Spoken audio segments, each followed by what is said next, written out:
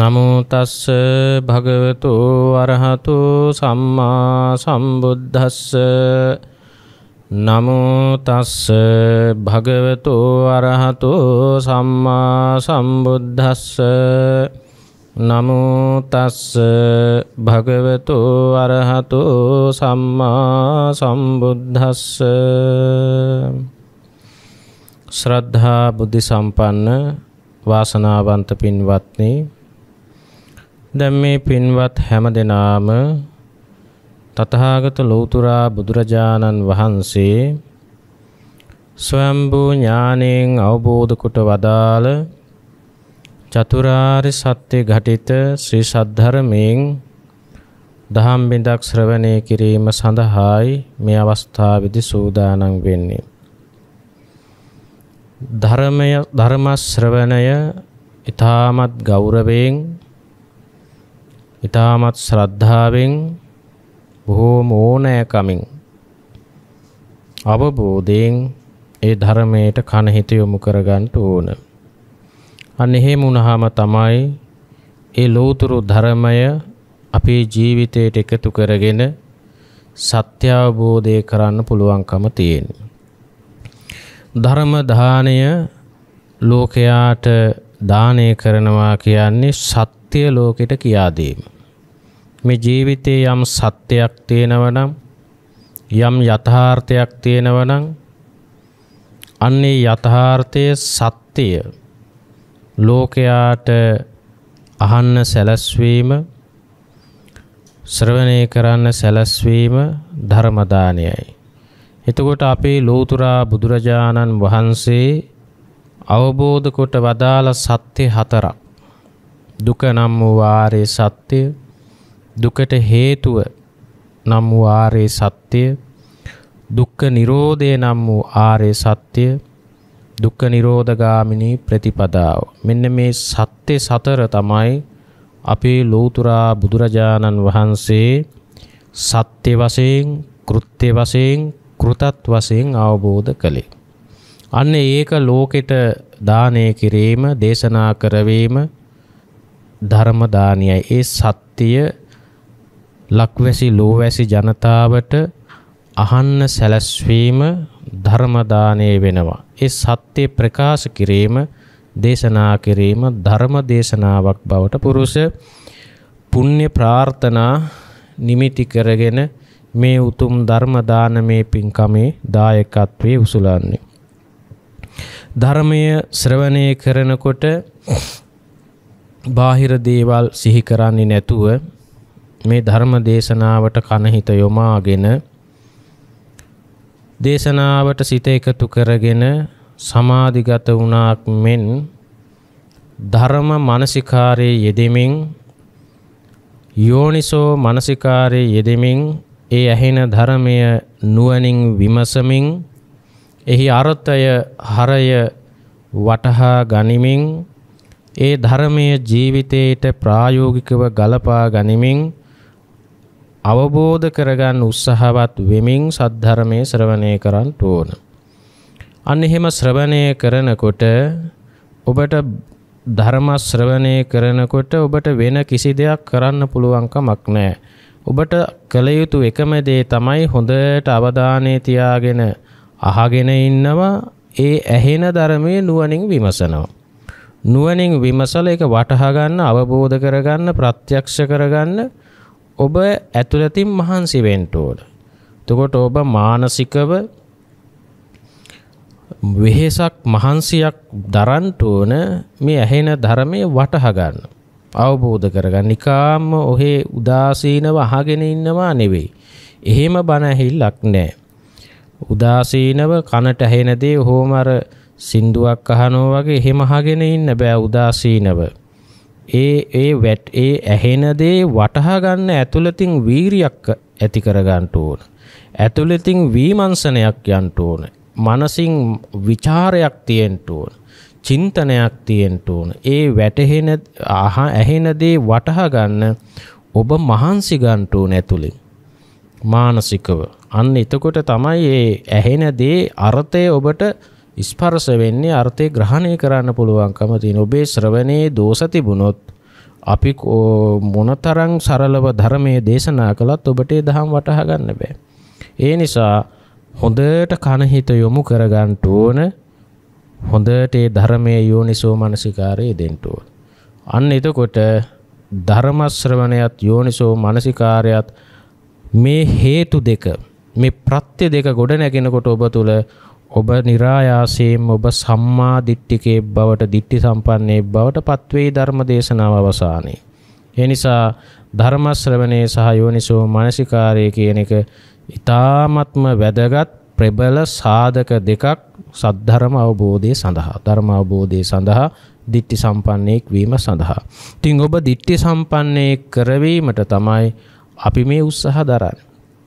ඔබ චතුරාර්ය සත්‍ය දර්ශනය ශුන්්‍යත දර්ශනය හේතුඵල දර්ශනය දිට්ටි සම්පන්නයෙක් භාවයට ඔබ පත්කිරීම සඳහා තමයි අපි මේ ධර්ම දේශනාවකින් උත්සාහවත් වෙන්නේ. එතකොට අපේ දේශනාව අවසානයේදී ඔබ දිට්ටි සම්පන්නයෙක් වෙන්න ඕන. ඔබ සම්මා දිට්ඨිය ගොඩ නැගෙන්න ඕන. දුක්ඛේ ඥානං, සමුදය ඥානං, නිරෝධේ ඥානං, මග්ගේ ඥානං කියන මෙන්න මේ ඥාන දර්ශනය ඔබ තුල ගොඩනැගේවා කියන අදිෂ්ඨානයෙන් තමයි අපි මේ ධර්මයේ දේශනා කරන්නේ. ඔබ තුල මේ ඥාන දර්ශනේ පහළ වේවා. මේ තුලින් ඔබ දිට්ඨි සම්පන්නයෙක් බවට සම්මා දිට්ඨියට පත් වේවා කියන අදිෂ්ඨානයෙන් තමයි අපි මේ ධර්ම දේශනා මාලාව සිදු කරගෙන යනු ලබන්නේ. එතකොට අද ධර්මානුශාසනාව සඳහා අපි දිගට කරගෙන ආවා සප්ත විසුද්ධිය සම්බන්ධයෙන් ධර්ම දේශනා මාලාවක්.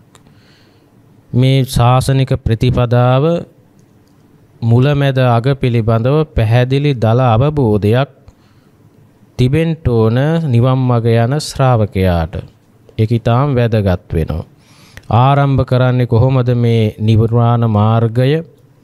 ඒ වගේම නිර්වාණ මාර්ගයේ අනුගමනය කරන්නේ කොහොමද අවසානයේ කෙඹදුද මේ ආදී වශයෙන් හොඳ මුලැමැද අග පිළිබඳව හොඳ දැක්මක් අවබෝධයක් ඥානයක් දර්ශනයක් නිවන් මඟ යන ශ්‍රාවකයාට තිබිය යුතුයි. එතකොට නිවන් මඟ යන ශ්‍රාවකයාට අපි ඉස්සෙල්ලම දෙන උපදේශය තමයි ඔබ දිට්ටි සම්පන්නයෙක් වෙන්න ඕන. ඒ දිට්ටි සම්පන්නයෙක් වුණාට පස්සේ මේ ශාසනයේ ප්‍රතිපදාව ගොඩ නැගෙන්නේ. ඒ නිසා සම්මාදිට්ඨියට පත්වීම සඳහා සම්මාදිට්ඨියට පත්වෙන්නයි නිවන් මඟ යන කෙනා ඉස්සෙල්ලාම උත්සාහ කරන්න ඕනේ. මොකද සම්මාදිට්ඨි පුරේ ජවං සම්මාදිට්ඨිය පෙරටුකටගෙන තමයි සියලුම ශාසනික ප්‍රතිපදාව ගොඩ නැගෙන්නේ. සම්මාදිට්ඨිය නැතුව සීල ගුණයක් වඩන්න බෑ. සමාධි ගුණයක් වඩන්නත් බෑ ප්‍රඥා ගුණයක් වැඩෙන්නෙත් නෑ. ආධ්‍යාත්මය වැඩෙන්නේ. ඒ නිසා ආර්ය ශ්‍රාංග මාර්ගයේ මුලින්ම තියෙන සම්මා දිට්ඨි. සම්මා දිට්ඨි. ඉතින් සම්මා දිට්ඨියටපත් වෙන්නේ පරතෝ ഘോഷය සහ යෝනිසෝ මනසිකාරේ. එතකොට පරතෝ ഘോഷය කියන්නේ චතුරාර්ය සත්‍ය ධර්මය ඔබ ශ්‍රවණය කරන්ට ඕන. ඒ ධම යෝනිසෝ මනසිකාරයේ දෙන්න උන. අන්න එතකොට ඔබ දිට්ඨි සම්පන්නයෙක් වෙනවා. අන්නේ දර්ශන ඥාන ඉස්සරහින් තියාගෙන තමයි නිවන් මඟ යන්නේ. ඉතින් එතකොට නිවන් මඟ යන්නත් කලින් ප්‍රතිපදාවට එන්න කලින් ඔබ දිට්ටි සම්පන්නයෙක් වෙන්න ඕන. දිට්ටි සම්පන්නයෙක් වෙන්න නම් කල්යාණ මිත්‍රයෙකුගෙන් සද්ධර්මය අහලා දර්ශන ඥානය ගොඩ නැගෙන්න ඕන. සම්මා දිට්ඨියට එන්න ඕන. අන සම්මා දිට්ඨියට ආවට පස් තමයි සාසන ප්‍රතිපදාව. ඒ ප්‍රතිපදාව අනුගමනය කිරීමෙන් තමයි නිර්වාණ ධාතුව සාක්ත වෙන්නේ. නිවන් අවබෝධ වෙන්නේ. ඔන්න ඔහොකයි පැහැදිලි පිළිවෙත. ඉතින් සම්මාදිට්ඨියක් නැතුව සම්මාදිට්ඨියට උත්සාහවත් වෙන්නේ නැතුව කෙනෙක් සීල සීල ගුණේ වඩන්න යනවනම් සමාධියක් වඩන්න යනවනම් විදර්ශනාවක් කරන්න යනවනම් ඇත්තටම එයාට ධර්ම මාර්ගයේ වැරදිලා කියලායි අපට කියන්න තියෙන්නේ. ඒ නිසා සම්මා දිට්ඨිය සඳහා තමයි මේ ශාසනයේ කෙනෙක් ගිහි වේවා පැවිදි වේවා ඉස්සෙල්ලාම උත්සාහවත් වෙන්න ඕන. ඒ සඳහා යා චතුරාර්ය සත්‍ය ධර්මය අහන්න ඕන. ඊයෝනිසෝ මනසිකාරයේ යෙදීම තමයි ඉස්සෙල්ලාම කරන්න ඕන. අන්න ඒකෙන් ditthi සම්පන්නයෙක් වෙන්න තමයි උත්සාහවත් වෙන්න ඕන. අන්න ඊට පස්සේ බ්‍රහ්මචර්යාවේ හැසිරෙන්න නිවන් මඟ යන්න. ඊට පස්සේ ඔබට නිර්වාණ ධර්මය නොබෝ දිනකින්ම ඔබට නිර්වාණ ධර්මය අවබෝධ වෙනවා සාත් වෙනවා. ඒක ඒ පිළිවෙත පිළිබඳව උත්සාහවත් වෙන්න ඕන. මොකද අපි ඒ විදිහට නෙවෙයි ලෝකේ ඒක ප්‍රතිපදාව පැනවෙන්නේ. ලෝකේ බොහෝ දුරට වෙන්නේ සම්මාධිට්්‍යිය සඳහා උත්සාහවත් වෙන්නේ. එයා සීලය වඩන්න හදන. එය සමාධිය වඩන්න හදුරු නමුත් එයාට සම්මාධිට්ටිය සඳහා උත්සාහයක් දරලනෑ. නමුත් එතකොට ඒ ගමන් මාර්ගය ලිපිනයක් නැතුව ගමනක් යනෝ වගේ වැඩක් හැටියටයි අපට තේරෙන විදිය. එනිසා දිට්ටි සම්පන්නයෙක් වෙන්න උත්සාහවත් වෙන්න ඕන අපේ මේ වෑයම අධිෂ්ඨානයත් ඔබ දිට්ටි සම්පන්නයෙක් සඳහා අවශ්‍ය මඟ පෙන්වීමයි අපි මේ සිද්ධ කරන්න. ඊට පස්සේ ඔබට බ්‍රහ්මචරියාව ශාසන ප්‍රතිපදාව ඔබ තුළම ඔබට විවෘත වෙනවා ගොඩ නැගෙනවා. එතකොට අද අපි මේ සප්ත විසුද්ධිය තමයි අපි කියාගෙන ආවේ.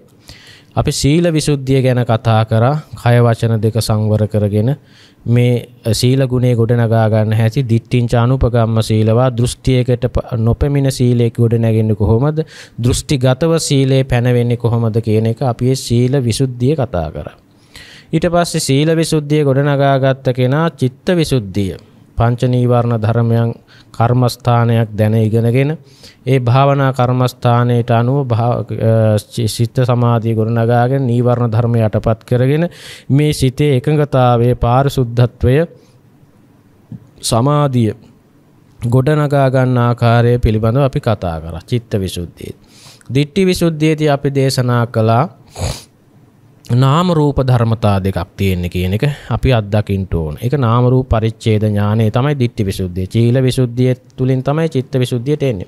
චිත්ත විසුද්ධිය චිත්ත සමාධිය අධි කරගත්ත කෙනා තමයි නාම රූප ධර්මතා දෙක අත්දකින්න හඳුනා ගන්න දක්ෂ වෙන්නේ. එතකොට සිතේ නීවරණ බහුල කෙනෙකුට සිත කැළඹිච්ච කෙනෙකුට සිත සිතේ සෙලවීම වැඩි වෙන වැඩි වෙන වැඩි වෙච්ච කෙනෙකුට නාම රූප ධර්ම හඳුනන්න බෑ පරමාර්ථ ධර්ම දකින්න බෑ.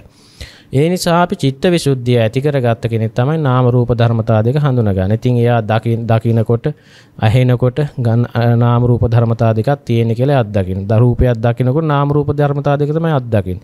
ගඳ සුවඳ දැනකොට, රස දැනනකොට, පහස දැනනකොට, සිතට සිතුවිල්ලක් එනකොට, මේ අතපය දිගායනකොට, නවනකොට, කතා බහ කරනකොට එතකොට මේ හිටගෙන ඉන්නකොට ඇවිදිනකොට වාඩි වෙනකොට නිදාගෙන ඉන්නකොට මේ ඉරියව් පැවැත්වීමේදී හැම ක්‍රියාව කායික වාසික මානසික ඇවතුම් පැවතුම් මේ සෑම තැනකදීම නාම රූප ධර්මතා දෙකක් තමයි ගොඩ නැගිලා තින්නේ. නාම රූප දෙකේ ක්‍රී නාම ධර්මයක් රූප ධර්මයක ක්‍රියාකාරීත්වයක් තමයි අත්දකින්නේ. එතකොට ඒ නාම රූප පරිච්ඡේද ඥානය තුලින් එයාට මේ සත්වයේ පුජ්‍යලයක් යමක් දෙයක් මෙතන තියෙනවා නෙවෙයි මෙතන නාම රූප දෙකේ ක්‍රියාකාරීත්වයක් හැටියට තමයි එයා අත්දකින්නේ.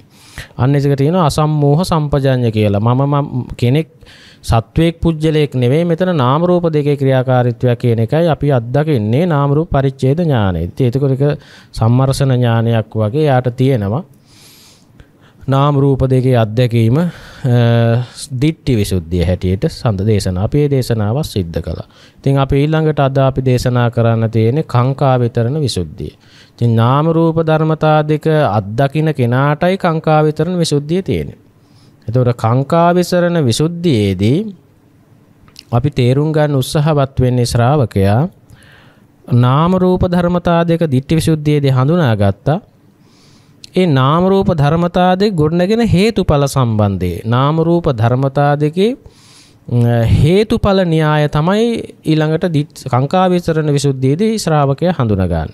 එතකොට කංක එතකොට නාම රූප ධර්මතා දෙකේ හේතුඵල විදියට ගොඩනැගෙන ධර්මතාවයක් හැටියට අත්දකිනකොට එයාට මේ කෙරේ තියෙන සැක සංකා දුරු වෙලා යනවා. එතකොට බලන්න හේතුඵල ධර්මතාවය අත්දැකිනකොට තමයි මේ සැක දුරු වෙන්නේ. සැක සංකා දුරු වෙන එකට කියනවා කාංකා විතරණ විසුද්ධිය කියලා. මේ කාංකා විතරණ විසුද්ධියට පත් වෙනකොට පටිච්ච සමුප්පාදේ හේතුඵල විදියට ගොඩ නැගෙන හැටි මෙයාට සම්මර්ෂණ ඥාණයෙන් තේරෙනවා අනුමානෙට තේරෙනවා අවබෝධ වෙනවා. ප්‍රත්‍යක්ෂයටම අවබෝධ වෙනව නෙවෙයි ප්‍රත්‍යක්ෂයටම අවබෝධ වෙන්නේ රහතන් වහන්සේ. මෙතෙන්ද මෙයාට සම්මර්ෂණ ඥානයේට අනුමාන ඥානයේට ඒ වගේම යාට යම්කිසි තරමක අවබෝධයකින් ඒ හේතුඵල සම්බන්ධය තමයි තේරෙන්නේ. දැන් මේ භෞතිකයේ උනත් ගහක් කොලක් උනත් වැඩෙනකොට ඒවයි තියෙන හේතුඵල සම්බන්ධයක්. එතකොට චක්‍රයක් වගේ දෙයක් තියෙන. මේ ස්වභාදහාමි වුණත් මේ ආයතන ස්කන්ධ ධාතු ආයතන තුළ මේ මේ සෑම දෙයක භෞතික දේවල් ආධ්‍යාත්මික අභ්‍යන්තර බාහිර මේ සෑම තැනකම හේතුඵල චක්‍රයක් තියෙන චක්‍රයක් තියෙන හේතුඵල ධර්මයක් තියෙන.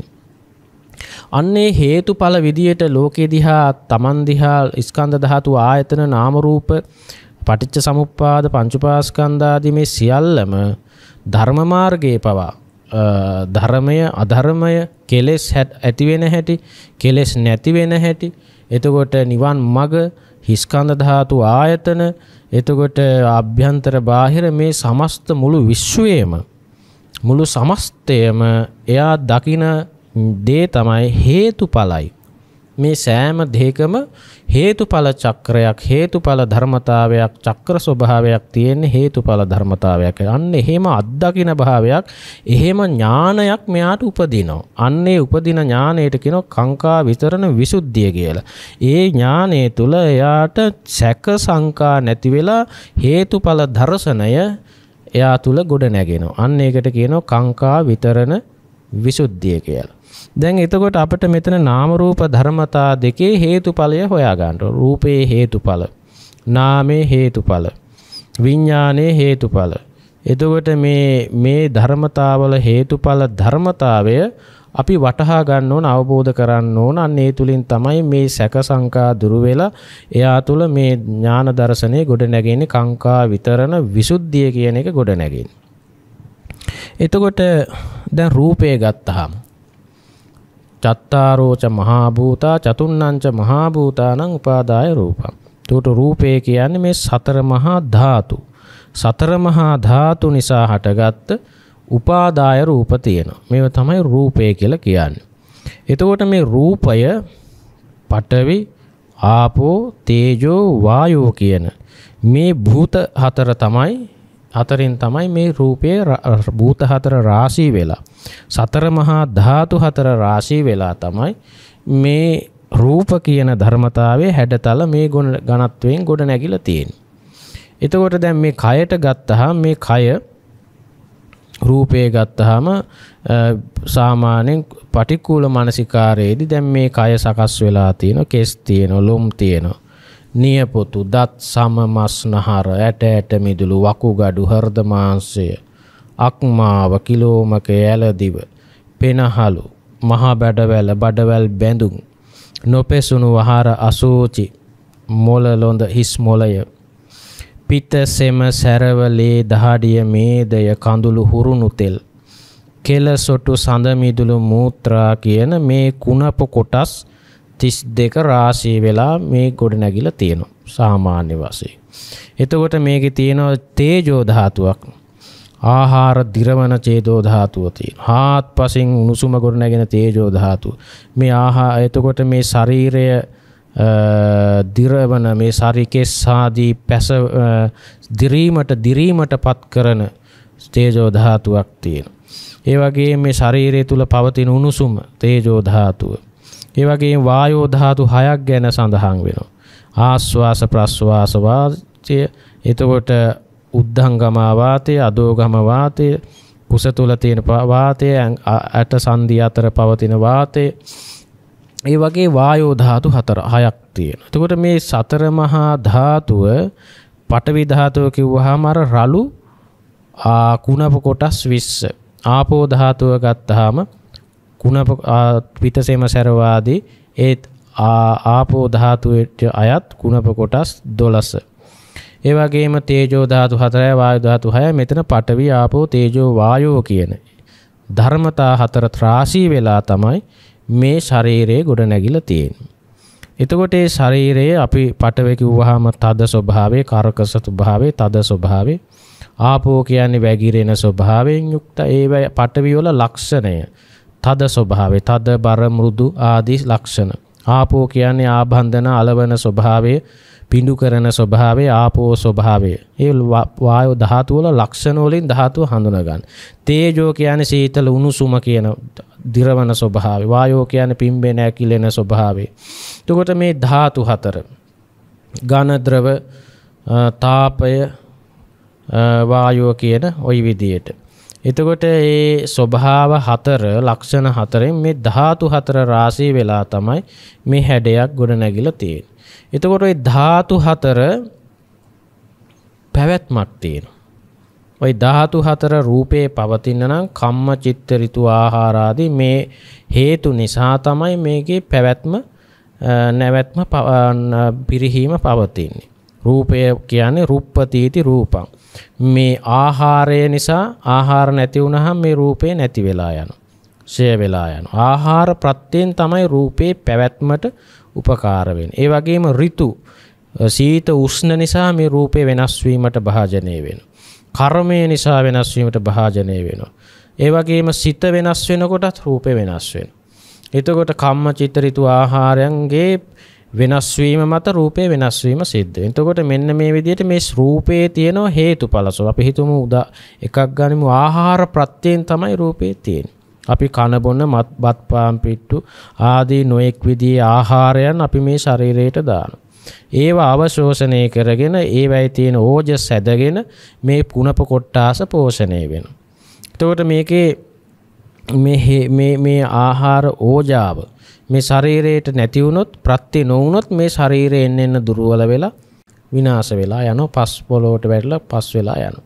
එතකොට මෙන්න මේ ශරීරය පවතින මේ රූපය පවතින හේතුඵල විදියට. අර එළියේ ගහක් වගේ. දැන් ගසක් වුණත් හැදෙන්නේ පොළොවේ සාරය, ජලය සහ සූර්යාලෝකය ආදී ඒ ප්‍රත්‍ය ධර්ම නිසා තමයි ගහ අතු කොළ ආදී ගොඩ නැගෙන්නේ. ඒ පළ දරන්නේ. එතකොට පොළොව පොළොවේ සාරය නැති වුණොත් ඒ ගහ හැදෙන්නේ ජලය නැති වුණොත් ගහ හැදෙන්නේ හිරු එළිය නැති වුණොත් ඒ ගහ වැඩෙන්නේ නැහැ. එතකොට ඒ ඒ ප්‍රත්‍ය ධර්ම ටික යොමු වෙනකොට තමයි ගහ ගොඩ නැගෙන්නේ. ඒ ප්‍රත්‍ය ධර්ම අඩු වෙනකොට ගහ දුර්වල වෙනවා. එතකොට අන්න ඒ වගේ මේ වගේ තමයි මේ ශරීරයත් මේ රූපය. ඒ වගේ තමයි මේ සෑම දෙයක්ම එතකොට හේතු රූපය දකින්න ඕන හේතු පල විදියට. අන්නේ විදියට අර රූපය අපි කලින් දිට්ටි විසුද්ධියේදී රූපය හඳුනගත්ත නාම රූප දෙක වෙන් කරලා තේරුම් ගැනීම තමයි අපි කරේ දිට්ටි විසුද්ධිය. දැන් මෙතන තියෙන්නේ අපි ඒකේ හේතුඵල ස්වභාවය තේරුම් ගන්න එක. ඊට පස්සේ ওই සතර මහා ධාතු ඇත්තටම සතර මහා ධාතු අපට පේන්නේ නෑ. බුදුරජාණන් වහන්සේ වදාළ සතර මහා ධාතු අනිදස්සනයි. මේ දහා රූපය අනිදස්සනයි. දැන් බලන්න පටවිය ආපෝ තේජෝ වායෝ කියන මේ සතර මහා ධාතු මේ ඇස් වලට පේන්නේ සතර මහා ධාතු කන් වලට පේන්නේ නැහැ ඇහෙන්නේ නැහැ සතර මහා ධාතු ඇත්තට හැබැයි ධාතුව රාශී වෙච්ච තැන ගොඩනැගිලා තියෙන උපාදාය රූපයක්. අන්නේ උපාදාය රූපය අපි හඳුනා ගන්නට ඕන. ඇත්තට ওই උපාදාය රූපයෙන් තමයි අපට ලෝකය හමු වෙන්නේ. මේ ධාතු රූපය නැතුව උපාදාය රූපේ ගොඩ නැගෙන්නේ නැහැ. දැන් උදාහරණයක් වශයෙන් ගත්තොත් අපි හිතමු මේ බිත්තියේ චිත්‍රයක් ඇඳලා තියෙනවා. දැන් බිත්තියේ චිත්‍රයක් ඇඳහම බිත්තිය පේන්නේ නැහැ. චිත්‍රයයි පේන්නේ. හැබැයි ඒ නමුත් චිත්‍රය අල්ලන්න ගියොත් අපි බිත්තියයි අහුවෙන්නේ චිත්‍රය අහුවෙන්නේ නැහැ.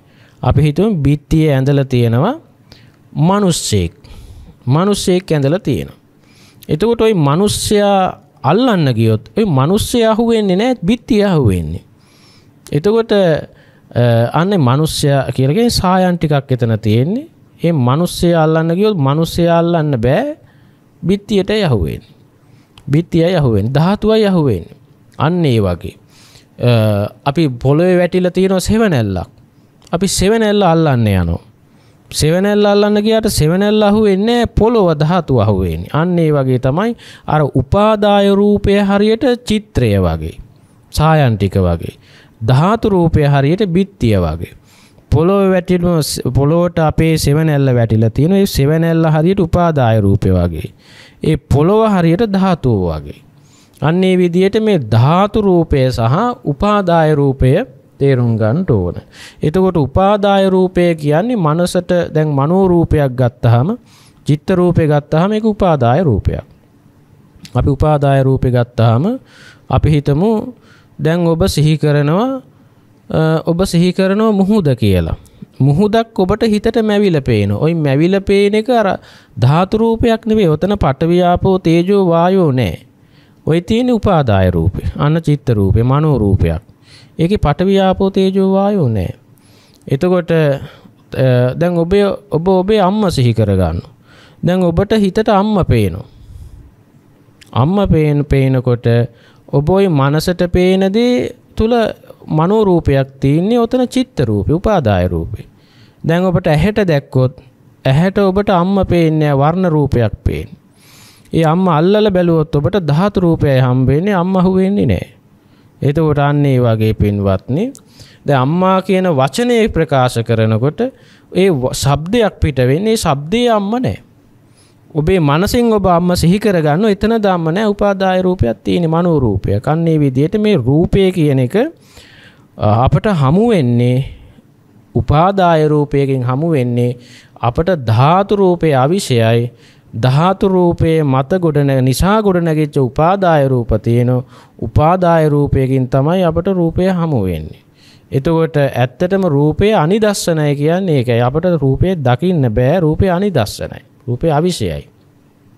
හැබැයි ධාතු රූපය නැතුව චිත්ත රූපය ගොඩ නැගින්නේ උපාදාය රූපය හැදෙන්නේ දැන් අර බිත්තිය නැතුව සායන් ටික පිහිටන් පිහිටවන්න බෑ අඳින්න බෑ එතකොට නමුත් චිත්‍රයේ නැතුව ධාතුව තියෙන්න පුළුවන්. එතකොට චිත්‍රය තියෙන්නේ බිත්තිය නිසා බිත්තිය ධාතුරු. එතකොට ධාතු රූපයත් නිසා තමයි උපාදාය රූපය ගොඩ නැගිලා තිනන්නේ විදිහට මේ රූපය සම්බන්ධවෙන් අපි තේරුම් ගන්න ඕන. ආයතන හයට ගැලපුවාම දැන් ඇහත් රූපයත් රූපස්කන්ධයට යනවා.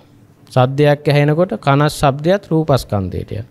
නා ගඳ සුවඳක් දැනෙනකොට එතන තියෙන රූපය නාසයත් ගඳ සුවඳ. රසයක් දැනකොට එතන තියෙන රූපය දිවත් රසයත්. කයට පහසත් දැනකොට කයත් පොට්ටබ්බයක් තමයි එතන තියෙන රූපය. ඒව ගැන අපි මනසින් හදනකොට දැකපු රූපය ගැන හිතනකොට චිත්ත රූප. එතකොට අහන ඇස්විච්ච ශබ්ද රූපය ගැන හිතනකොට මනෝ රූපේ. ගන්ධ රූපය ගැන හිතනකොට මනෝ රූපය. දිව්‍ය රස රූපය ගැන හිතනකොට ආහාර ගැන හිතනකොට මනෝ රූපේ. ස්පර්ශ වේද්දේ ගැන හිතනකොට මනෝ රූපේ.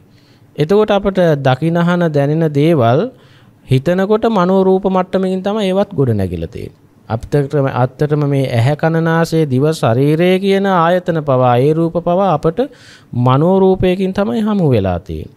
දැන් ඇහැ ගැන සිහි කරනකොට ඔබට ඇහැ පේනවද? නෑ ඔබේ මනෝ රූපේ පේන්නේ ඔය. ඔබ කන ගැන හිතනකොට කන ගැන හිතනකොට ඔබට මනෝ රූපයක් හමු වෙන කන පේන්නේ. කන අවිෂයයි. ගඳ නාසය ගැන හිතනකොට ඔය එළියේ මූණේ තියෙන නාසය දොයි පේන්නේ. මූණේ තියෙන නාසය නෙවෙයි මනෝ රූපයකින් ඔබට හමු වෙලා තියෙන පෙර සංඥාවකින්. ඔබේ දිව ගැන හිතනකොට ওই කට ඇතුලේ තියෙන දිව පේනවද ඔබට? ඔබේ දිව ඔබට පෙර සංඥාවකින් එන්නේ දිව හමු වෙන්නේ නැහැ මනෝ රූපයකින් හමු වෙලා තියෙන්නේ. ඔබේ කය ඔබ ස්පර්ශ කරනවා. ස්පර්ශ කරනකොට ඔබේ අත දන්නවද කය ගැන? නෑ. එතකොට ඔබ අත කියලා දැනගන්නේ කය කියලා දැනගන්නකොට ඔබ මනෝ රූපයකින් එක හමු වෙලා තියෙන්නේ. එතකොට බලන්න පින්වත්නි ආයතන පවා අපට හමුවෙනි මනෝරූප මට්ටමකින් හමුවෙන්. එතකොට බලන්න මේ චිත්තරූප මට්ටමකින් තමයි මේ සමස්ත රූපයම ගොඩ නැගිල තියෙන චිත්තරූපයකින් අපට හමු වෙන තැන. එතකොට දැම් බලන්න සබ්දයක් ඇහෙනකොට රූපයක් පේනකොට ඒ රූපය ගැන අහිතනකොට මනෝරූප දකිනකොට චිත්තරූප. එතකොට රූපය ගැන හිතනකොට මනෝරූප දකිනකොට වර්ණ රූප.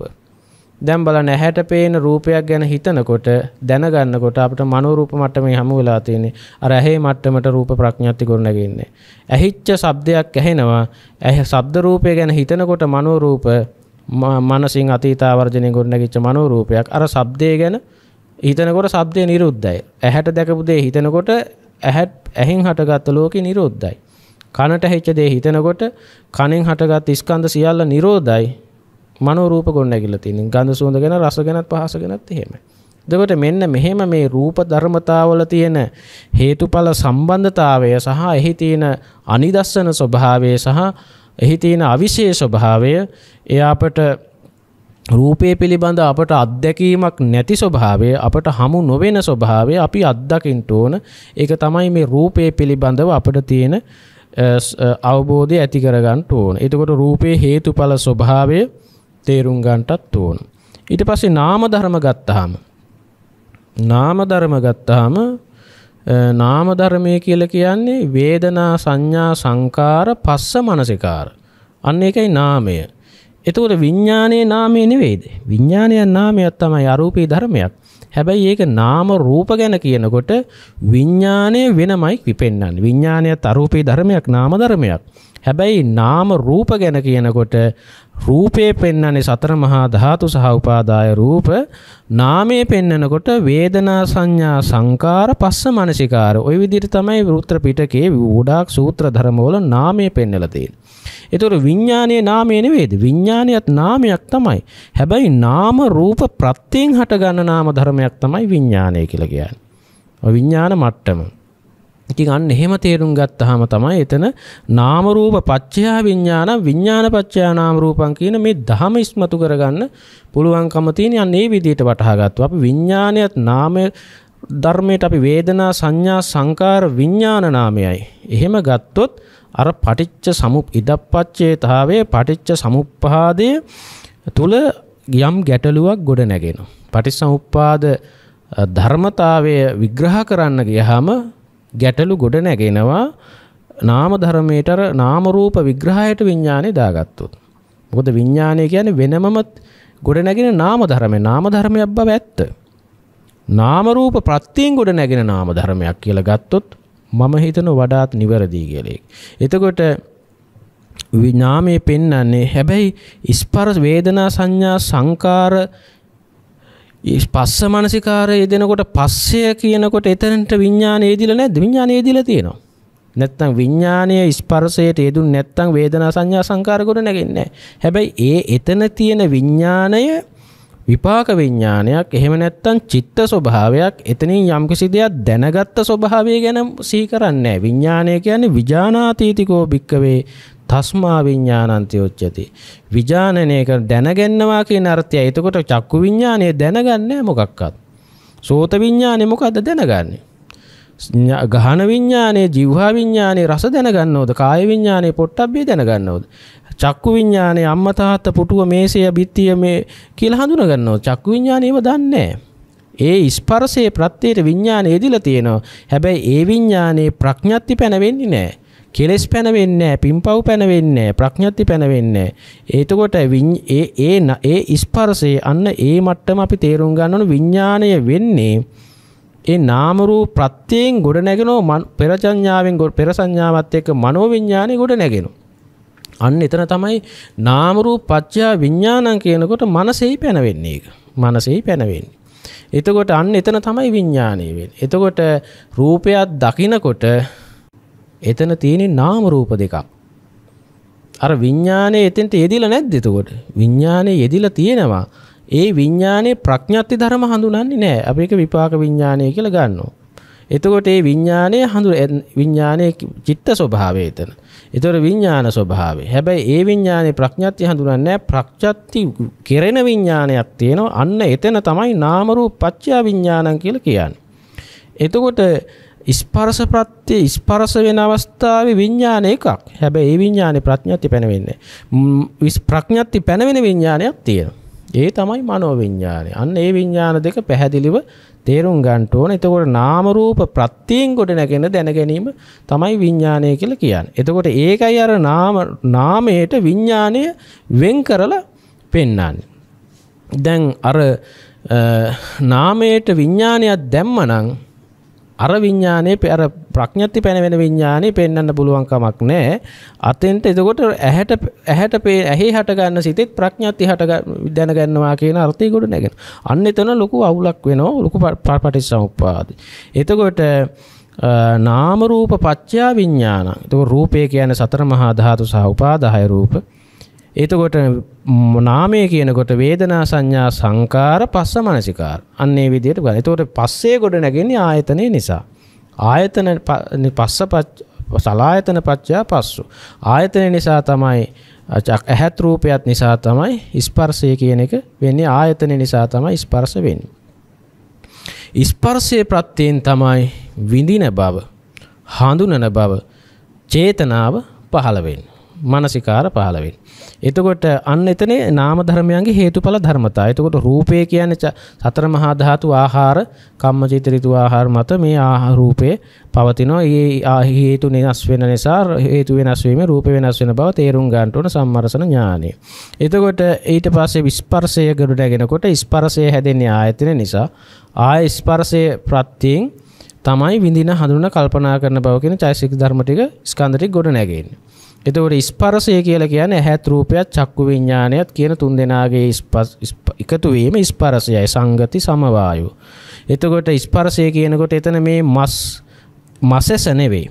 මෙතන තියෙන ප්‍රසාද චක්කුව ඒ ප්‍රසාද චක්කුවට අර ඉස්සරහා තියෙන රූපේ හැඩය වර්ණය මේ ආලෝකය නිසා පතිත වෙනවා මේ ප්‍රසාදේ. එතකොට රූප ආවර්ජනා කරනකොට මානසිකාරයෙන් අර විඥානය චිත්ත ස්වභාවය ප්‍රසාදේ පහළ වෙනවා. එතකොට ප්‍රසාද චක්කුව එකට පරමාර්ථ ඇස කියලා කියනවා.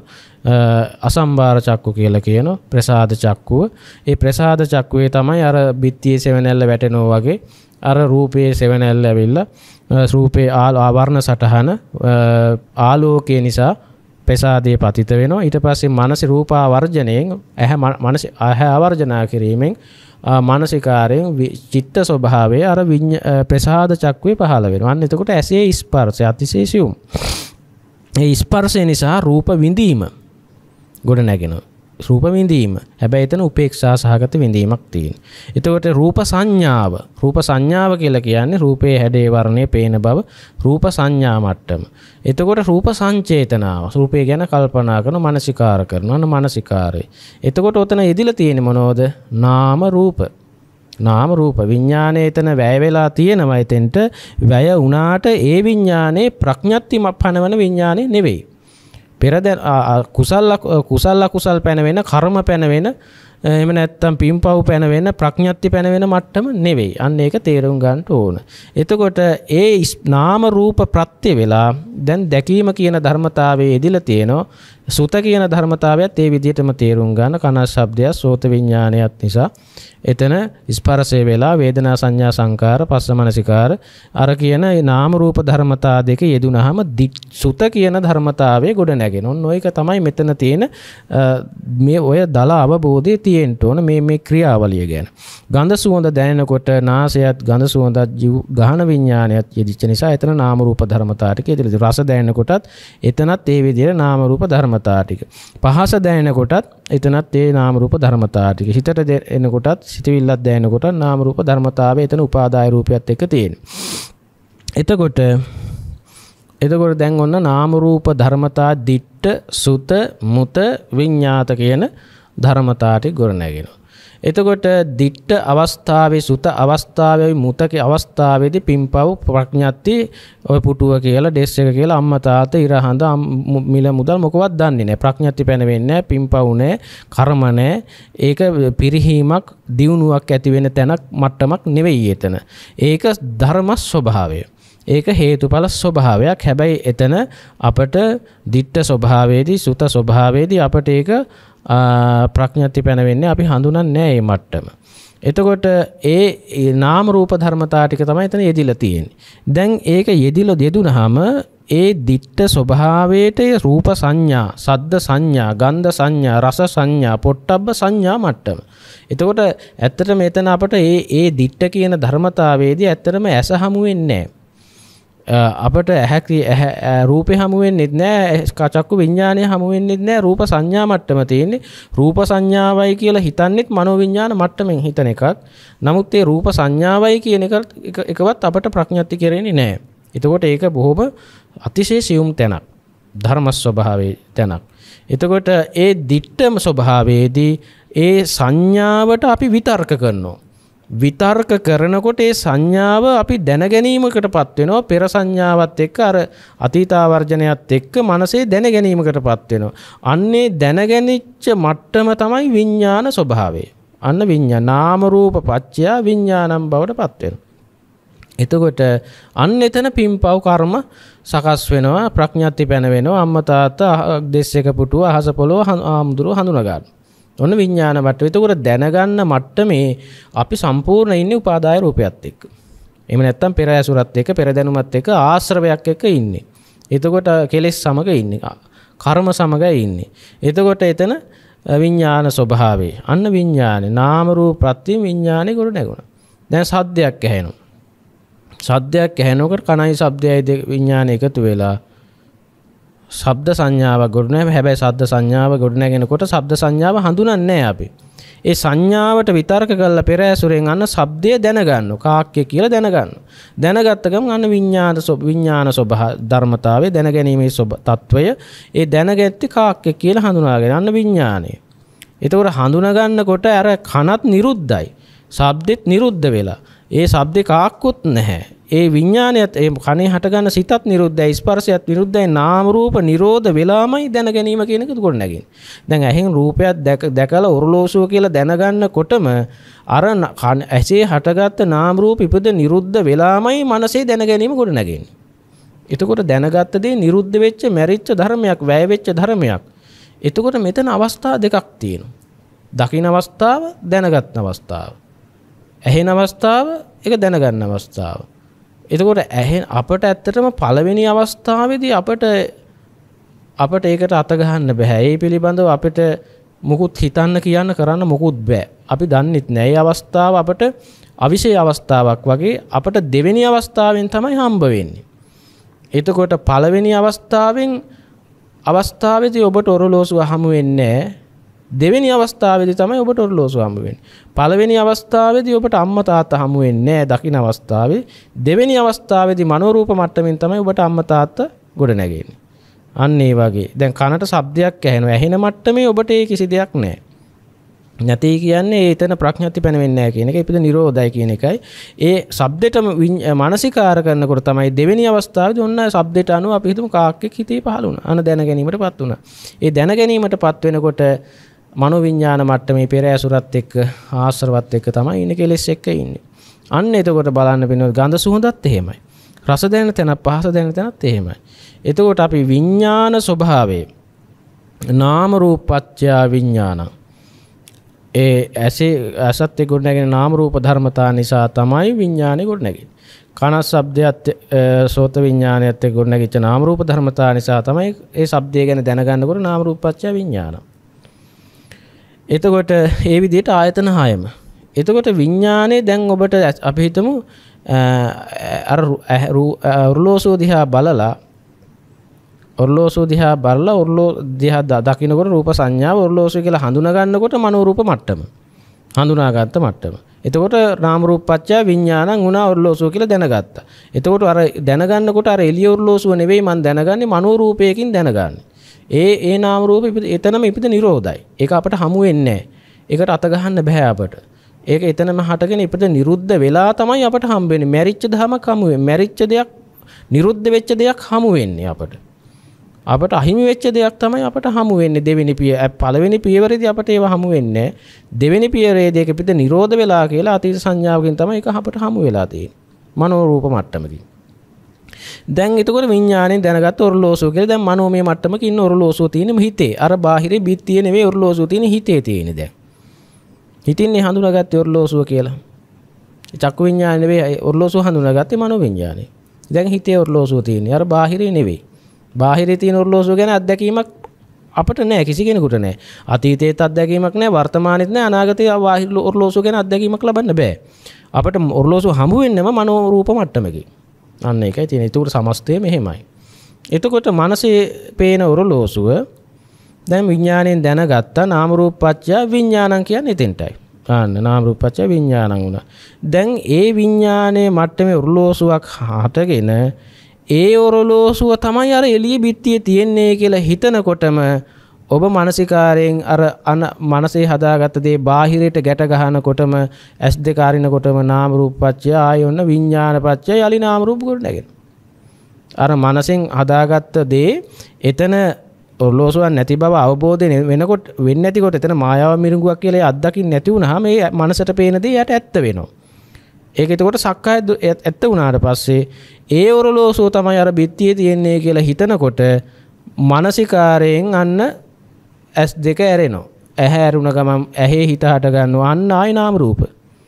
අර නාම රූප හැදෙනවා. දැන් අර විඥාන පත්‍යා විඥාණයෙන් අහම බාහිරේ ඇති බවට හිතපු නිසායි ආයතනය හැරිලා ඇහැ ඇරිලා නාම රූප කර නැගුණේ. විඥානේ හටගත්. අන්න එතකොට ආයි විඥාන පත්‍ය නාම රූප. නාම රූප පත්‍ය විඥාන ආයි එක දැනගනකොට ආයි මනසින් දැනගන්නවා. අන නාම රූප පත්‍ය විඥාන. අන්න ආයි මනසින් බාහිරේ ඒ විඥාණයෙන් හිතනවා බාහිරේ ඇති බවට හිතනකොට දෘෂ්ටිගත වෙනකොට සක්ක ඇත කියන සාස්ත්‍රස් දෘෂ්ටියට යනකොට මානසිකාරය කරනකොට ආයතන හටගෙන ආයර සිත ඇසේ හටගන්නකොට ආය නාම රූප පත්‍ය වෙන විඥාන පත්‍ය නාම රූපං වෙනවා. නාම රූප පත්‍ය යලි විඥාන වෙනවා. දැන ගැනීමට නාම රූප පත්‍ය විඥාන විඥාන පත්‍ය නාම රූපං නාම රූප පත්‍ය විඥාන විඥාන පත්‍ය නාම රූප. මෙන්න මේක මෙතන චක්‍රයක් වගේ මහනිදාන සූත්‍රයේ සඳහන් වෙනවා. ඉතින් ওই විදිහට පින්වත්නි ඔතන ඔය පටිච්ච සමුප්පාද කැලම ඔතන සමුදේ වෙනව නිරෝධ වෙනවා. ඔන්න ඔතන තමයි අපි දකින පටිච්චසමුප්පාද සමුදය පැත්ත තමයි ඔතන යෙදෙන්නේ ආත්ම දෘෂ්ටියත් එක්ක. ඔන්න ඔතන විඥානය හටගන්නේ නාම රූප නිසා නාම රූප හටගන්නේ විඥානය නිසා කියන මේ අන්‍යෝන්‍ය ප්‍රත්‍ය ධර්මය. අඤ්ඤමඤ්ඤ ප්‍රත්‍යය. අන්න ඒක අපි පැහැදිලිව ඔතන තේරුම් ගන්න ඕන. අන්න විඥානය කියන්නේ පටිච්ච සමුප්පන්නයි. සංකතයි පටිච්ච සමුප්පන්නයි. නාම රූප කියන්නේ සංකතයි පටිච්ච සමුප්පන්නයි. එතකොට වේදනා සංඥා සංකාර කියන ධර්මතාවයත් ස්පර්ශය ප්‍රත්‍යයෙන් තියෙන. ස්පර්ශය තියෙන්නෙත් ආයතන ප්‍රත්‍යයෙන් ආයතන හැදෙන්නෙත් මේ පඨවි ආපෝ තේජෝ වායුවේ සතර මහා ධාතු මත තමයි ආයතන ගොඩ නැගිලා තියෙන්නේ. රූපේ පවතින්නේ ආහාර ප්‍රත්‍යයෙන්. රූපේ රූපේ පවතින්නේ මේ ආහාර නිසා ආහාර රූපේ මත තමයි මේ ආයතන තියෙන්නේ. ආයතන ගොඩ නැගිලා තියෙන්නේ නාම රූප ප්‍රත්‍යයෙන්. එතකොට අයතකොට ස්පර්ශය හැදිලා තියෙන්නේ ආයතන නිසා ආයතන ස්පර්ශය නිසා තමයි විදින හඳුනන කල්පනාකම් බව තියෙන්නේ. ඒ සෛසික ධර්මයේ දිල්නෙත් ඒ නාම රූප දිසා පත්යෙන් විඥානයේ පවතින්නේ විඥාන නිසා යලි නාම රූප පවතින මේ අන්‍යනෝ අන්‍යෝන්‍ය ප්‍රත්‍ය මෙන්න මේ විදියට මේ නාම රූප ධර්මයන් කෙරෙහි හේතුඵල සම්බන්ධය. ඔන්නෝම හේතුඵල සම්බන්ධයක් තියෙනවා. අන්නේ හේතුඵල සම්බන්ධය වටහා ගැනීම තමයි ওই කාංකා විස්තරණ විසුද්ධියද සිද්ධ වෙන්නේ. දැන් ditthi විසුද්ධියේදී දැක්කේ හැම තැනම නාමයක් රූපයක්. නාමයක් රූපයක්. නාම රූප දෙක පරිච්ඡේදයේ තමයි හොඳට විශ්ලේෂණය කරගෙන සම්මර්ෂණය කරගෙන දැකගෙන ගියේ.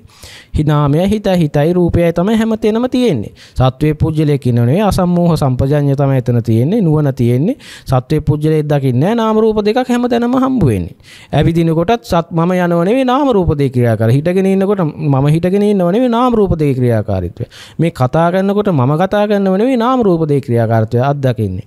එතකොට රූපයක් පේනකොට මම රූප දකිනව නෙවෙයි නාම රූප දෙකේ ක්‍රියාකාරීත්වය. සද්දයක් අහනකොට මම සද්ද අහනව නෙවෙයි නාම රූප දෙකේ ක්‍රියාකාරීත්වය. ගඳ සුවඳ දැනෙනකොට රස දැනෙනකොට කය පහස දැනෙනකොට සිතවිලි හිතනකොට නාම රූප දෙකේ ක්‍රියාකාරීත්වය දකින්න. අතපය ඔසවනකොට දිගාරිනකොට වටපිට බලනකොට නිශ්ශබ්දව ඉන්නකොට ඒ ඒ සෑම අවස්ථාවකදීම එයා අසම්මෝහ සම්පජඤ්ඤයෙන් නාම රූප ධර්මතා දෙක තමයි අත්දකින්නේ ditthi visuddhiyේදී. දැන් ඒ දිට්ටි විසුද්ධිය අධ්‍යයකපු දේ දැන් එයා දකින්නේ කාංකා විතරණ විසුද්ධියට එනකොට හේතුඵල සම්බන්ධය තමයි එයා එතන අත්දකින්නේ. හේතුඵල සම්බන්ධය. එතකොට රූපේ මෙන්න මෙහෙම හේතුඵල විදියට පවතිනවා. නාම ධර්ම ටික මෙන්න මෙහෙමයි. නාම රූප කියන්නේ මෙහෙමයි. වේදනාවේ හේතුඵලයි. හේතුඵල ස්වභාවය, සංඥාවේ හේතුඵල ස්වභාවය, සංකාර චේතනා හේතුඵල ස්වභාවය, ආයතනයන්ගේ හේතුඵල ස්වභාවය, එතකොට ස්පර්ශයේ හේතුඵල ස්වභාවය, රූපේ හේතුඵල ස්වභාවය, ඒ වගේම නාම රූප ප්‍රත්‍යයේ හේතුඵල ස්වභාවය, විඥාන නිසා නාම රූප, නාම රූප නිසා විඥාන මේ හැමතැනම සත්වේ පුජ්‍යලයක් ඉන්නව නෙවෙයි. ඒ යමද්දයක් පවතිනව නෙවෙයි. මේ හේතුම් පටිච්ච සම්බ සම්භූතං හේතු නිසා හටගන්න හේතු නැති වෙනකොට නිරෝධ වෙනවා කියන මේ සම්මර්ෂණ ඥාණයෙන් අනුමාන ඥාණයෙන් එයා මේ හැම දැනකම නාම රූප දෙකේ හේතුඵල සහ සම්බන්ධතාවය තමයි හැම තැනම යාද්දකින් අන්න හේතුඵල දහම. ඉතින් ඒ හේතුඵල දහම නාම රූප ධර්මතා දෙකේ හේතුප්‍රත්‍ය ධර්මතා දෙක තමයි අත්දකින්නේ. එතකොට ස්කන්ධයන්ගේ හේතුඵල ආයතනයන්ගේ හේතුඵල විදියයි. ආ ස්කන්ධ ධාතුන්ගේ හේතුඵලයි. එතකොට මේ පටිච්ච සමුප්පාදේම මෙතන හේතුඵල ධර්මතාවය තමයි අත්දකින්නේ. එතකොට පටිච්ච සමුප්පාදයට ගැලපුවාම අන්න එතකොට තමයි දැන් එතකොට මෙයා හේතුඵල සම්බන්ධතාවය අත්දකින්නේ හැම මොහොතකම. දැන් පටිච්ච සමුප්පාදේ අවිජ්ජා පත්‍ය සංඛාරා කියන කොටත් දැන් අවිද්‍යාව කියලා කියන්නේ අවිද්‍යාව කියලකොට දුක්ඛේ අඥානං සමුදය අඥානං නිරෝධය අඥානං මග්ගේ අඥානං ඔතක තමයි අවිද්‍යාව කියලා කියන්නේ. මිච්ඡා දිට්ඨි කියලා කියන්නේ. දුක්ඛේ ඥානං, සමුදය ඥානං, නිරෝධේ ඥානං, මග්ගේ ඥානං කියනකොට අන්න එතකොට සම්මා දිට්ඨි, දර්ශන ඥානය. එතකොට අවිද්‍යාව නිසා තමයි මේ සංස්කාර විඤ්ඤාණ නාම රූප. මේ විඤ්ඤාණය දැන් මනසට පේන තැන දැන් ප්‍රායෝගික විග්‍රහ කළොත් දැන් මනසට ඔන්න බලන්න මේ මේ ප්‍රායෝගික කියන්න ප්‍රායෝගිකව තමයි අපි උපමා උපමේය ගලපලා මේ දහම මතු කර ගන්න ඕනේ. එතකොට තමයි කෙනෙකුට මේක වටහා ගන්න අවබෝධ කරන්න ලේසි. අර පොතේ තියෙන ක්‍රමයටම මේක ගත්තොත් වචන කියවන්න පුළුවන්. නමුත් ඒක කිසි කෙනෙකුට වැටහෙන්නේ නැහැ, අවබෝධ වෙන්නේ නැහැ.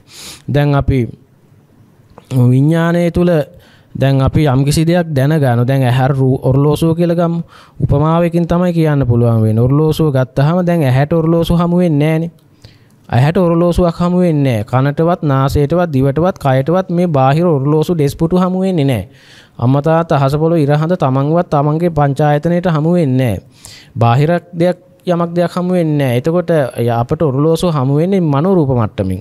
දැන් මනසට අපි ඇහෙන් නිමිත්ත අරගෙන ඇහෙන් නිමිත්ත ගන්නවයි කියලා කියන්නේ රූප සංඥාව තියෙන රූප සංඥාවට විතර කළා තමයි මනෝමයෙන් තමයි නිමිත්ත ඕර්ලෝසුව හදාගන්නේ.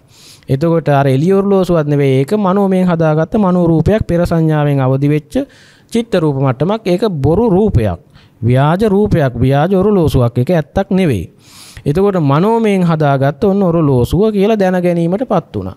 ඒ දැන ගැනීම විඤ්ඥානයයි ඒ විඤ්ඥානය දැම් ප්‍රඥාවෙන් පිරිසිඳ දකින්න ඕනය. කොහොමද පිරිසිඳ දකින්න දැන් ඔතන මනසට පේන තැන අර එලියවරු ලෝසුව නෙවෙයි. ඔයි මනසට පේනි මනුවමෙන් පෙර සංඥාවෙන් අවධි කර ගත දෙනක් ඔය ඔතනද ඔරුලෝසුවක් නැහැ ඔයි මනසට පේන තැන ඔතන හතර මහාදහතුත් නැහැ පෙර සංඥාවෙන් දැනගත්ත දෙයක් ඔයි දැන ගැනීම වැරදිී. ඔය දැන ගැනීම බොරුවක් ඔය දැන ගැනීම මිරිඟුවක් ඔය මිරිඟුවේ වතුර තියෙනවා කියලා හිතන එකයි මිරිඟුවේ වතුර තියලා රැවටුණා කියන එකයි ඔරු ලෝසුව කියලා දැනගන්න එකයි දෙකම එකයි දැන් මිරිඟුවක වතුර නැහැනේ මිරිඟුවේ වතුර නැහැ සිහිනේ ඇත්තක් නෙවෙයි සිහිනේ බොරුවක් මායාවක්. ඔය පේනදේ විඤ්ඥානය විඤ්ඥාන මාය උපමංච විඤ්ඥාන ඔය විඤ්ඥානය මායාවක් හැටියට පෙන්ව විඤ්ඥානය ඇත්තක් නෙවෙයි. විඤ්ඥානය ඇත්ත පෙන්න්න බොරුවමයි පෙන්න්න විඥානය කවදාකත් කිසි කෙනෙකුට ඇත්ත පෙන්වන්නේ නැහැ බොරුව පෙන්වන්නේ. එතකොට ඒ ඒ මායාව ප්‍රඥාවෙන් තමයි පිරිසිදු දකින්න ඕනේ. දැන් එතකොට ඔය ඔරලෝසුව කියලා දැනගත්ත හිත එතන ඔරලෝසුවක් නැති බව ඔය උපාදාය චිත්ත රූපයක් බව ඒ චිත්ත රූපේ ඔරලෝසුව නොවන බව නුවනින් දැක්කොත් එතකොට ඔයි දැනගැනීමම වැරදි වෙනවා දැනගැනීම බොරුවක් කියලා තමන්ට ප්‍රත්‍යක්ෂ වෙනවා. අන්න එතකොට ඒ දැනගැනීම බොරුවක් කියලා ප්‍රත්‍යක්ෂ වෙනකොට ඒ වේදනාවත් බොරු වෙනවා සංඥාවත් බොරු වෙනවා සංකාරෙත් බොරු වෙනවා විඥානෙත් බොරු වෙනවා. එතකොට ස්කන්ධ පහම තමන් අන්න පිරිසිඳ දැක්ක වෙනවා. අන්න යථාර්ථයේ පිරිසිඳ දැක්කා. එතකොට අනාත්ම ස්වභාවයක් මේ තියෙන්නේ. ආත්මනීය ස්වභාවයක් කියලා යමද්දයා සත්පුජ්‍යල සංකල්පයේ සම්පූර්ණ බොරුවක් මෙතන උර්ලෝසුවක් නැහැ. අන්න එතකොට ඒක අත්දකින්නකොට අන්න සමුදය ප්‍රහාණයි. අමුදේ ප්‍රහාණයි. නිරෝධය සාත් වෙනවා මහා ශුන්්‍යත දර්ශනය අනිමිත්ත දර්ශනය. නිරෝධය සාත් වෙනවා. තණ්හාව දුරු වීමයි නිරෝධය. අන්න මාර්ගයේ එතන දුක දුක හැටියටම අවබෝධ වීම තමයි පංච උපාස්කන්ධය යන චතුරාර්ය සත්‍ය දර්ශනය එතන දැක්මට ගොඩ නැගෙන ශුන්්‍යතාවයේ තියෙන්නේ. අනිමිත්ත චේතෝ විමුක්තිය අපනහිත චේතෝ විමුක්තිය මහා ශුන්්‍යත විහරණය තමයි එතෙන්ට අවදි වෙන්නේ. ඒ දැනීමට අවදි වෙන යමක් දෙයක් සත්පුජ්‍යල සංකල්පයයි නැති වෙන්නේ. මම කියලා කෙනෙක් නැත් අමු වෙන්නේ. එතකොට අන්න එතකොට ඒ සත්‍ය දැක්ක ගමන් අවිද්‍යා නිරෝධයෙන් සංකා නිරුද්ධයි. දැන් ඉතින් ඔරලෝසුවක් හමු වෙන්නේ නැහැ එතන. අන්න විඥානේ වැඩෙන්නේ නැහැ. විඥානේ අපතිට්ඨිත ස්වභාවයට පත් වෙනවා. නාම රූප බැස ගන්නෑ. එතකොට දැන් එතන විඥානයේ බොරුවක් වුණාම ඇහැ අරින්නේ නැහැ. අර රූපේ යලි බලන්න. ඇහැ අරින්නේ නැහැ කියලා කියන්නේ අර අවිද්‍යා සහගතව මෙහි ඇහක් තියෙනවයි කියන අවබෝධය ආසාස දුසියට ගොඩ නැගින්නේ ඇහි යමක් තියෙනවා කියන සංකල්පය මානසිකාරය එන්නේ නැහැ යාට. ඇහැ අරියත් අරින්නේ එලිය ඔරලෝසුවත් තියෙනවා කියන අවබෝධ ශාස්ව දෘෂ්ටියෙන් නෙමෙයි ඇහැ අරින්නේ. එතකොට ඇහැ අරින්න පුළුවන්. ඇරියට ඇහැ ඇරියට එලිය ඔරලෝසුවක් තියෙනවා කියන ශාස්වත දෘෂ්ටියෙන් අවිද්‍යාව සහගතව එළියේ ඔරලෝසුවක් ඇති බවට හිතාගෙන ඇහැ අරිනවා නෙවෙයි. ඒ මානසිකාරය නෙවෙයි ඇහැ අරින්නේ. එතකොට ඒ නිසා එළිය අපට ඔරලෝසුවක් හමු වෙන්නේ. එතකොට විඥානයේ බොරුවක් වුණා නාම රූප බැසගන්නේ අවිද්‍යා සහගත භාවයක් කියන ගොඩ නැගින් නෑ එතකොට. එතකොට නාමරූප බැස ගන්න නැති වෙනකොට විඥානයේ අපතිට්ඨිත වෙනකොට නාමරූප බැස ගන්න නෑ. නාමරූප බැස ගන්නකොට ආයතන සංකල්පය බිඳ වැටෙනවා. ආයතනයේ නිරෝධ වෙනකොට ආයතන නිරෝධ තමයි නිබ්බාන කියලා කියන්නේ. සලායතන නිරෝධෝ නිබ්බාන. අනේ නිර්වාණය අත්දකින්. එතකොට ස්පස්ස වේදනා තණ්හා උපාදාන කර්ම ජාති ජරා මරණ කියන සමස්ත දුකම මේ මොහොතේම නිරෝධ වෙනවා. ඒ දැක්මට ඒ දැක්මට සියල්ල නිරෝධයි. ඒක නොදැක්කොත් විඤ්ඥාන මාය ඔරලෝසුව කියන එක ඇත්ත වුණොත් මනසේ අන්න සත්පුද්ගල සංකල්පය ගොඩනැගෙන. එතකොට පංච උපාදානස්කන්ධය තමයි රැවටිලා තියෙන්නේ. ඔරලෝසුව කියලා දැනගන්න තැන තියෙන්නේ පංච උපාදානස්කන්ධය. උපාදාය රූපයත් එක්ක ගොඩනැගිච්ච අනිත් ස්කන්ධත් උපාදානයි. එතකොට උපාදානස්කන්ධ පහේ යෙදිච්ච තැන ඔරලෝසුව කියන සත්පුද්ගල සංකල්පයට ගියහම සනිකර යාට එතකොට පංච උපාදානස්කන්ධය අවබෝධ වෙලා නැහැ. එතකොට පංච උපාදානස්කන්ධය නොදකිනකොට අවිද්‍යාව සහගතයි. එතකොට ඒක ඇත්ත කියලා ඒකට බැඳෙනවා. එතකොට අවිද්‍යාවෙන් වැහිලා තණ්හාවෙන් බැඳිලා. නිරෝධයයි මාර්ගය එතන නැහැ. එතකොට මොකද වෙන්නේ? අර විඥානය ඇත්ත වෙලව ඇත්ත වෙනහම් පස්සේ යාට බාහිරත් රූපේ ඇත්ත බවට පත් වෙනවා. අවිද්‍යාව පත්‍ය සංඛාර විඥානේ ඇත්ත වෙලා නාම රූප විඥානත් ඨිති වෙනවා එතකොට. විඥාන අපපති ඨිතිනේ විඥාන ඨිතියක් වෙනවා. නාම රූප බැස ගන්නවා ආයතන සංකල්පේ ගොඩනගෙන ලෝකේ හැදෙනවා මේ ලෝකේ. ස්පර්ශ වේදනා තණ්හා උපාදාන කර්ම ජාජරමන සමස්ත ලෝකේ මේ මොහොතේ ගොඩනගෙනවා. මෙන්න මේ විදියට මේ පටිච්ච සමුප්පාදය මේ මොහොතෙම ගොඩනැගෙන හැටිත් මේ මොහොතේ සමස්තයම නිරෝධයට යන හැටිත් මේ තමයි සජීවී දහම මේ තමයි මේක අතීතයට කොටසක් දාලා. අතීත හේතු වර්තමාන ඵල. වර්තමාන හේතු අනාගත ඵල. ඉතින් කොහොම මේක තේරුම් ගන්න? ඒක එහෙම පටිච්චසමුප්පාදයක් නෑ. ඒක අර කර්මඵල දහම තුළ ගොඩනැගෙන ශාස්ත්‍රත දෘෂ්ටිය තුළ ගොඩනගාගත්ත පටිච්චසමුප්පාදයක් මිසක් මේ හේතුඵල දර්ශනයක් දැකගෙන ගොඩනගාගත්ත පටිච්චසමුප්පාදයක් නෙවෙයි. අතීත වර්තමාන අනාගත කියන කාලත්‍රුණ තුනට කඩලා ඒක ශාස්ත්‍රත දෘෂ්ටිය තුළ කර්මඵල දහම තුළ නිගණ්ඨාගමේ පටිච්චසමුප්පාදි තමයි ඒක. නිගණ්ඨාගමේ තියෙන පටිච්චසමුප්පාදය තමයි කාලතුන්ට කඩලා තියෙන්නේ. ඒක සාස්වත දෘෂ්ටිය අවිද්‍යාව තුළ ඒක පැනවෙන්නේ. එහෙම දෙයක් නෑ කියන්න බෑ. හැබැයි අවිද්‍යා භූමියේ එහෙම දෙයක් තියෙනවා. විද්‍යා භූමියේ ධර්ම චක්‍රය තුළ ඔහොම පටිච්චසමුප්පාදයක් නෑ. එතකොට ධර්ම චක්‍රය තුළ පැනවෙන මේ බුදුදහමේ පැනවෙන පටිච්චසමුප්පාදයේ වර්තමාන මේ මොහොතේ අත්දකින සමුදේ සහත්තංගමයි. අවිද්‍යා භූමියේ තියෙන පටිච්චසමුප්පාදයේ සහ කාබුන්ගණ්ඨාගමේ පටිච්චසමුප්පාදයේ තමයි කාලතුන්ට පනවල ඔය තියෙන්නේ. එතකොට ඒක අවිද්‍යා භූමියේ සක්කාය දෘෂ්ටියේ බාහිර රූපේ ඇත්ත කරගෙන පනවගත්ත පටිසමුප්පාදයක් ඒක. ඉතින් එතන ඥාන දර්ශනයක් නෑ. එතන තියෙන කර්මඵල දහම සාස්වත දෘෂ්ටිය. ආ සවිද්‍යාව මත පැනවෙන්නේ සියල්ල. අතීත අනාගතයක් පැනවෙනව නම් එතන සම්පූර්ණ මිත්‍යා දෘෂ්ටියක් තියෙන්නේ. මේ මජ්ජේ ඥානයක් පහළ වෙලානේ අතීත ඒකාන්තයක් අනාගත ඒකාන්තයක් වර්තමානයේ මැදයි. අතීත අන්තවල පැනවෙන පටිච්චසමුප්පාදය තමයි තියෙන්නේ. ඒ නිසා මේ ඥාන දර්ශනයක් තුළ පැනවෙන වර්තමානයේ පටිච්චසමුපාදය තමයි ලෝතුරා බුදුරජාණන් වහන්සේ පණවිච්ච දේශනා කොට වදාළ නියම පටිච්චසමුපාද දහම. එතකොට ඒ දහම තමයි බුදු දහම හැටියට අපේ විශ්වාසය අපේ පිළිගැනීම. ඉතින් ඒක තමයි අපි මේ දේශනා කරන්නේ. ඒක අපට පැහැදිලිව සජීවීව අපට ඒක කියන්න පුළුවන්. අපි ඒක අත්දකිනවා. අපි ඒ දහම ලෝකෙට කියනවා. අපි මේ පාඩම් කරලා කියනවානේ මේ දහම මේ මේ විදියට මෙතන මෙහෙම දෙයක් සිද්ධ වෙනවා කියන එක අපේ නුවණට දැනෙනවා දැනීමක් තියෙනවා ඒ දැනීමට තමයි අපි අවදි වෙලා මේක මේ දේශනාව කරන්නේ එතකොට වර්තමාන මොහොතේ මේ විඤ්ඥාන මායාවට රැවටුනාම මුළු පටි සෞපාදයෙන් මෙතන ගුරුණ එතන නොවැටුනොත් එතන ඇත්ත දැක්කොත් විඤ්ඥාන මායාව හැටියට සමස්තය මේ නිරෝධයට යන බව මේ හේතු පල දහම තමයි ලෝතුරු දහම. අන්න ඒ විදියට මේක හේතු නිසා හටගන්න හේතු නිරුද්ධ වෙලා නිරුද්ධ වෙනතු පටිච්ච සමුප්පාදය පංච උපාස්කන්ධය ස්කන්ධ ධාතු ආයතන නාම රූප මේ සමස්තේම සහ මේ විශ්වයේම මේ සකස් වෙච්ච මේ හේතුම් පටිච්ච සම්භූතං මේ හේතුඵල විදියට සකස් වෙන චක්‍ර තියෙන්නේ. හේතු නිරෝධ වෙනකොට ඒ සියල්ල නිරෝධ වෙනවා කියන අන්නේ දහම ගොඩ නැගුණාම එයාගේ සැක සංකා දුරු වෙලා හේතුඵල විදියට මුළු සමස්ත මේ ස්කන්ධ ධාතු ආයතන නැමැති ලෝකය සහ මේ භෞතික ලෝකය හෝ ඕනම දෙයක් යාට හේතුඵල විදියට දකින්න පුළුවන් ඥාන දර්ශනයක් උපදිනවා අන්න ඒකට කියනවා කාංකා විතරණ විසුද්ධිය කියලා. එතකොට ඒ විසුද්ධියට එන්නේ නාම රූප පරිච්ඡේද ඥානය. නාම රූප පරිච්ඡේද ඥානයට එන්න බෑ චිත්ත සමාධිය නීවරණ ධර්මයටපත් කරන්න නැතුව.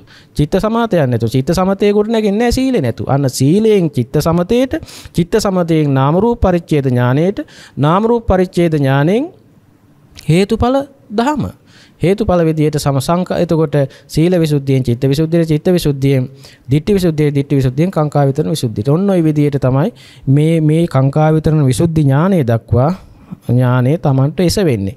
අන්න ඒ විදියට හේතුඵල විදියට යා සමස්තයම අත්දකින්න තමා තුල ස්කන්ධ ධාතු ආයතන නාම රූප පටිච්චසමුප්පාද සෑම දෙයක්ම හේතුඵලයි. අන්න ඒ හේතුඵල ධහම තමයි බුදුදහම.